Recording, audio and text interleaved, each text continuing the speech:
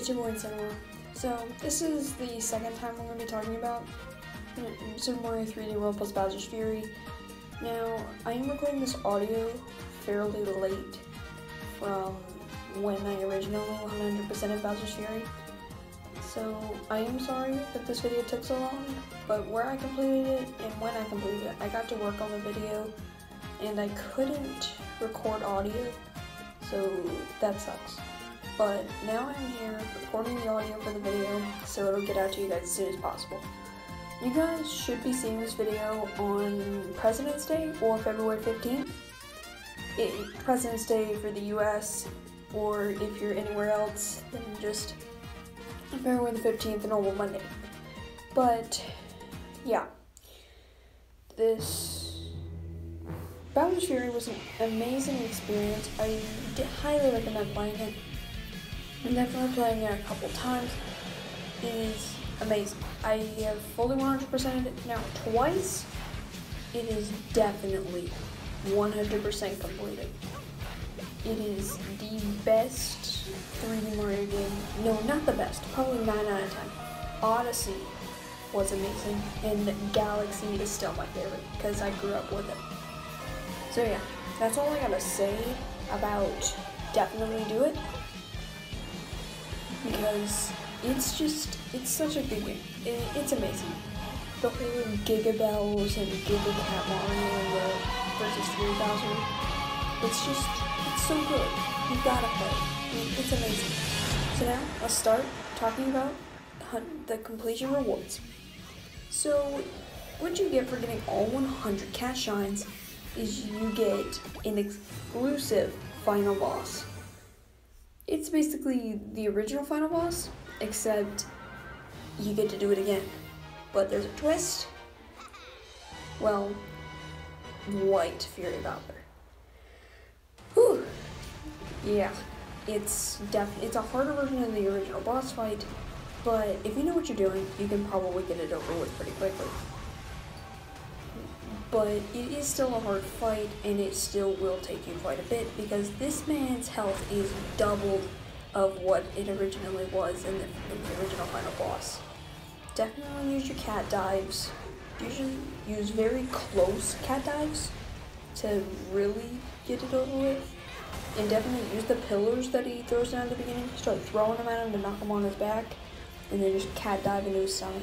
It works every time. You'll probably get it done.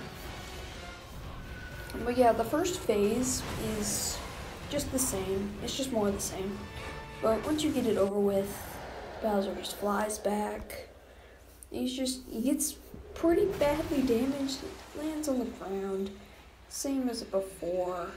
Then just blah, all of the goop just spews through his mouth. He explodes and then just big waterfall, but the sky doesn't clear up. Same as before, Bowser Jr. is pretty concerned about his dad. He goes over to check it out, and well, and jump scare. It's it it yep. It's just big boy Boozer, normal Boozer. I mean, he's better, but he's got Herobrine eyes, and he's uh, he's still pretty mad. And then he just freaking takes the three Giga Bells once again. I mean, does he absorb them? I mean, seriously? No.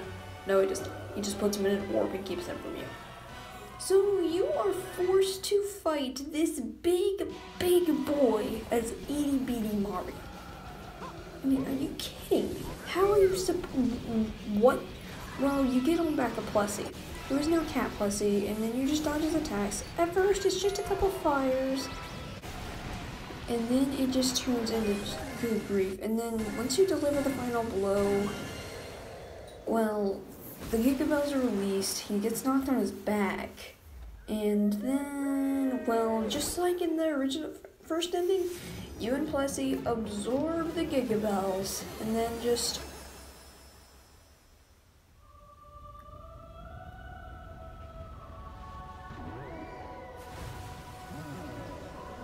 Serenity. I had to let that play. That was a marvelous moment I think everyone died laughing the first time they saw that. So Bowser explodes into fireworks, big shocker. He does that every time. And then the sun is a cat. What? How does that happen? Because everything in Bowser's Fury is cat. Everything here on Lake Lapcat is cats. And then you get, well, spoiler alert, the exact same final cutscene. It is the exact same. I mean, it's it's the it's the exact same. There are no differences whatsoever.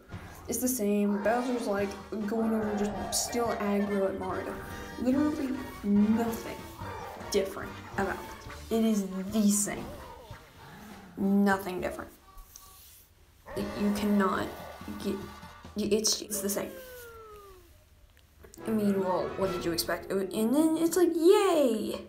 They're on the back of Giga Pla- Cat Plessie. Alright, it's finally time to see what did I get for completing this game. What did I get? It. Oh, you gotta be kidding! It's, it's just a freaking picture. You gotta be kidding. Why? Well, that was disappointing. But on the right side, you also get two pretty cool skins. You get a Giga Cat Mario skin for the cat suit in for the remainder of Bowser's Fury. Even though there's nothing left, you just kind of get to run around as Giga Cat Mario, but small. Yeah, I mean it's pretty weak, but I mean it's pretty cool. And then there's also Meowser Jr., which is very cool to see Bowser Jr. as Meowser Jr. And he and also the Koopa Clown car has got little whiskers. Very nice. Anyway, thanks for watching guys. That's my review on 100% Bowser's Fury. But I will if you didn't pay attention to the spoilers, then you just got spoiled the whole fun of the end of Bowser's Fury. So, sorry about that if you didn't listen. Anyway, see you guys later. Peace.